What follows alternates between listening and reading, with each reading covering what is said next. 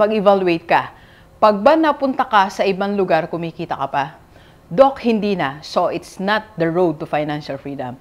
Pag ba, alimbawa, nagpunta ka ngayon sa ibang bansa, one month vacation, kikita ka pa rin? Doc, hindi na kasi nandito ang aking source of income. So, it's not a road to financial freedom.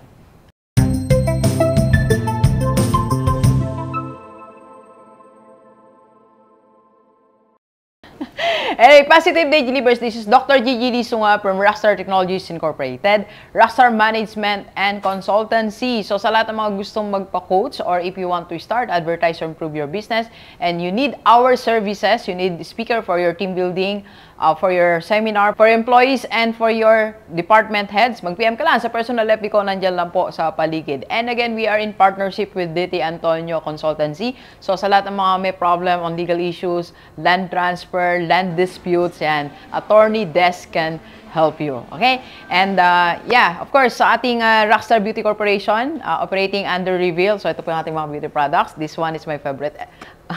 ito po ang aking ginagamit ngayon. So matagal na natin siyang ginagamit. At ito po yung maintenance soap po ang uh, ginagamit ni Rockstar.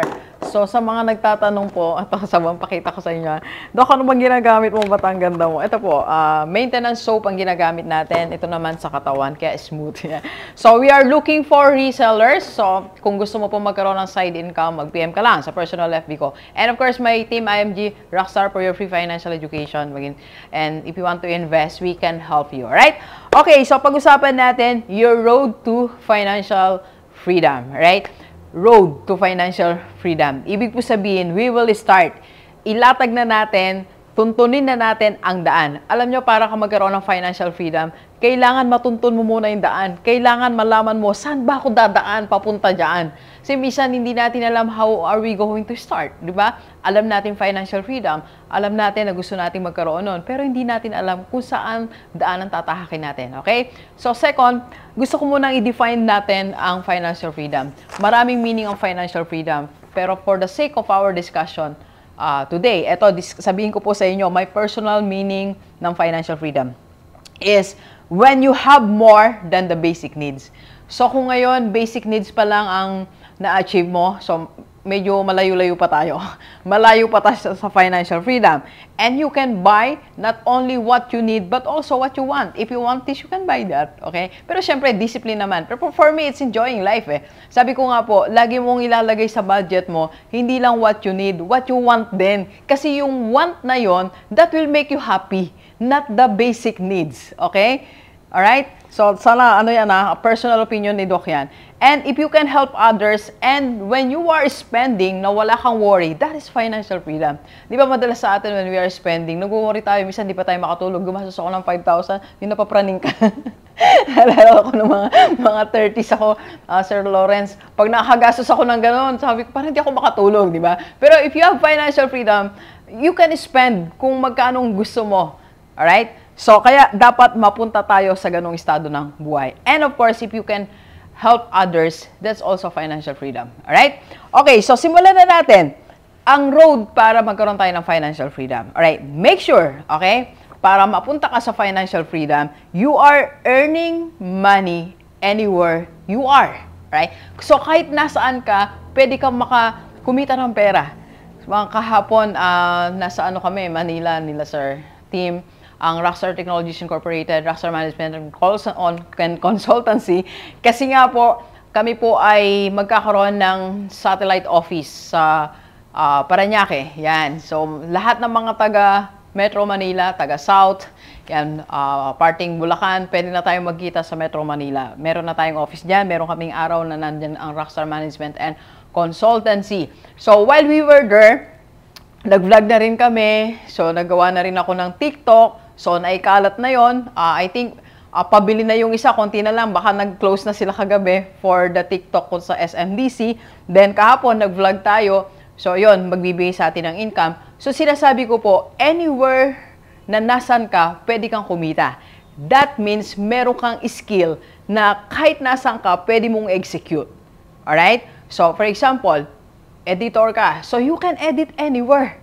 So, hindi ka dependent sa lugar kung saan ka lang pwedeng kumita. Yun po yung mga unang-una, mga employed. Kasi, pag employed ka, pag, ano ba, dito sa Bataan, napunta ka ng Bulacan, hindi ka na pwedeng kumita. For example, meron kang pinuntahan doon, meron kang, uh, meron kang dinalaw, hindi ka nakikita nun. So, you cannot have financial freedom. If you cannot earn while you are having your vacation, while you are uh, doing some socialization, while you are in the mall, in the beach, so malayo po tayong uh, magkaroon ng financial freedom. Ibig po sabihin po, ganito po siya, you can execute. Pwede kang, like for example, ako po, kahit nasaan, pwede ako mag-coach. Kahit mapunta ako ng uh, Cagayan. Kasi online naman eh. So, yung akin pong skill, ina-add ko lang siya sa internet. And then I can do it, I can execute, I can earn money. If you can sell your products kahit nasa ang bahagi ka ng Pilipinas o kahit nasa bakasyon ka sa ibang bansa, you can have financial freedom. Yun po yun. So, kung nasaan ka man, pwede kang kumita, yun ang papunta sa financial freedom. Kaya ngayon, mag-evaluate ka. Pag ba napunta ka sa ibang lugar, kumikita ka pa? Dok, hindi na. So, it's not the road to financial freedom.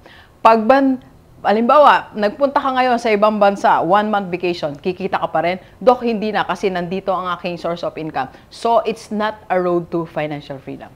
Alright? So, second po, second na uh, road to financial freedom, abang tayo, nagkakape-kape po tayo.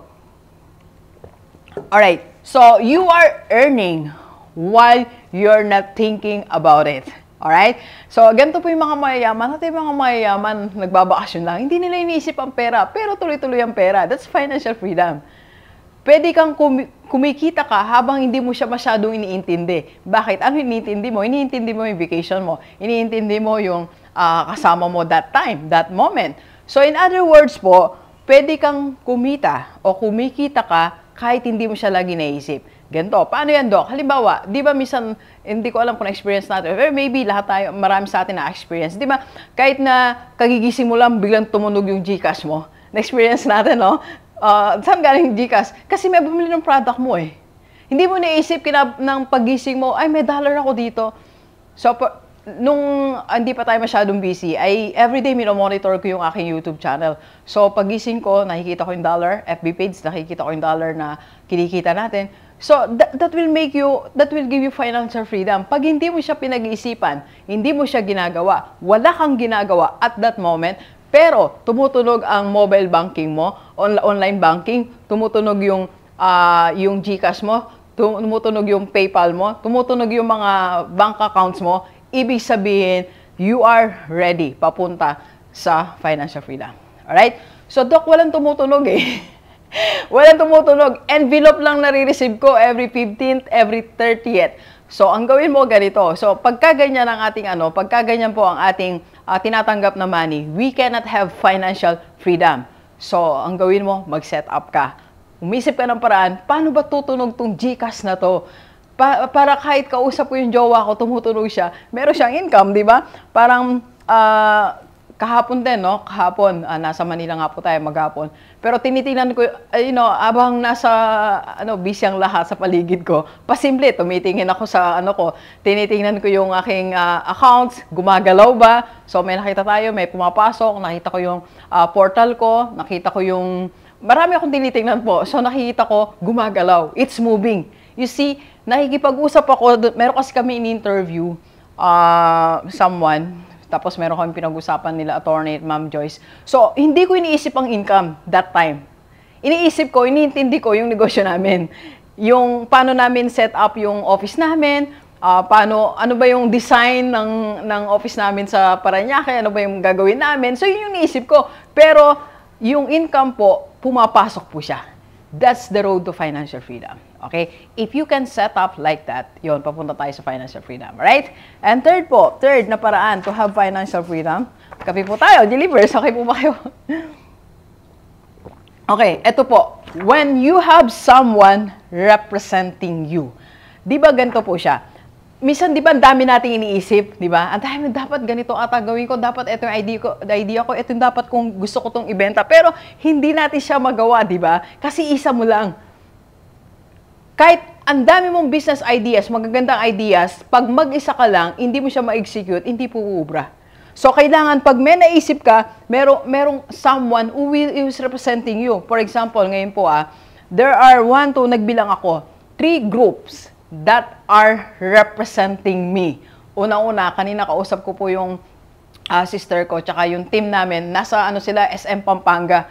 Bumibili po sila ng, o, ng uh, ano namin, ng anong tawag doon sa uh, tables, mga gamit sa office. Office supplies. office supplies and office furnitures para sa aming office, IMG Rockstar Dinalupihan. I should be doing that. Pero hindi ko na yung ginagawa. Meron tatlong tao ngayon representing me to do that. Alright? So, second po, meron is another group that is representing me. Uh, attorney, kasi ngayon, meron siyang kausap ngayon eh. Inaayos ang office namin, inaayos yung ibang detalye sa Bulacan. Dapat nandun ako, pero wala ko. So, siyang gumagawa. And there is another people now who is representing me answering your, yung mga inquiries nyo po sa page. Yan. May inquiries nyo sa page, posting sa page. So, may, yung uh, mga nagpapa-coach po sa atin, may nag-schedule, may group of people representing me. Alright? So, sa atin pong lahat, Doc, ikaw kasi mer meron kang pambayad, meron kang uh, ganyan. Alam nyo, nung nag-start ako, ako lang din mag-isa. Pero naisip ko, sabi ko, hindi ko to lahat magagawa at hindi tayo yayaman na mag-isa ka lang kumikilos. Kapatid, if you want financial freedom, start creating your team. Mag-start ka sa isa. Pag meron ka naisip na idea, ito, gawin mo to. Ito, ikaw magpunta doon. Ito, i, ano, i-deliver mo to. Nung nag-start po ako, ang kasama ko lang, isa lang. Tapos nakipag-partner tayo kay Aling Tisay. Yung business idea ko, dapat ganito Aling Tisay, dapat ganito ginagawa natin. Nire-represent niya ako sa mga resellers namin. So ngayon, ngayon kung naisip mo, Doc, madami akong gustong gawin. You can do the same, okay? You can form your team. Gayahin natin. For, uh, ano din yan, business model din ni Ty Lopez, ni Grant Cardone, di ba? Grant uh, Cardone University, may nagmamanage po niyan. Si Ty Lopez, lahat ng partners niya, uh, may mga uh, mentor box, may nagmamanage din yan. So, na, pag naisip nila, meron silang representative. Okay? If you are thinking of something na alam mo, ito, magandang idea, doc, doc, ito, it will give me income. So, you, you create your team to do that, to represent you. Unless many people are representing, representing you, hindi tayo magkakaroon ng financial freedom. Alright? Kasi ganito po yan. The more people that are representing you in different transactions, kung sampu yan, ibig sabihin, 10 possible sources of income ang magkakaroon ka. Alright? Okay? So, yon sana nakatulong tayo sa lahat ng Gilivers natin. Hindi pa huli para magkaroon tayo ng financial freedom. Halamin mo lang ano ang road papunta doon. So, mamili ka sa tatlong didiscuss natin. Okay? By the way, again, announcement natin ha, sa lahat mag mag-reseller na Reveal Beauty natin, mag-PM ka lang sa any part of the Philippines for only for, uh, 4,500 sir. Ayan, 4,500. Okay? Uh, yon Mag-message kayo para sa exact. Nalimutan ko yata. Okay? Alright, PM ka lang sa personal level ko nandiyan lang po sa paligid. Okay? And uh, if you want to join my team, IMG Rockstar, para makapag-start ka na po ng yung investment. Para you can earn money while you are doing nothing. Alright? So, yan. Maraming salamat and please share this video sa lahat may bigyan natin. Kahit OFW o dito sa Pilipinas, para sama-sama tayong mabago tumula dating buhay. Thank you very much, Gilibers. Enjoy the rest of the day and let's go, let's go. Thank you po. Let's go, let's go.